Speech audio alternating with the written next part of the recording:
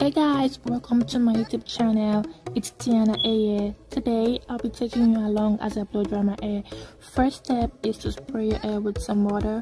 I believe that's a very key step as it helps with softening the hair for detangling. Then I walk the water through my hair.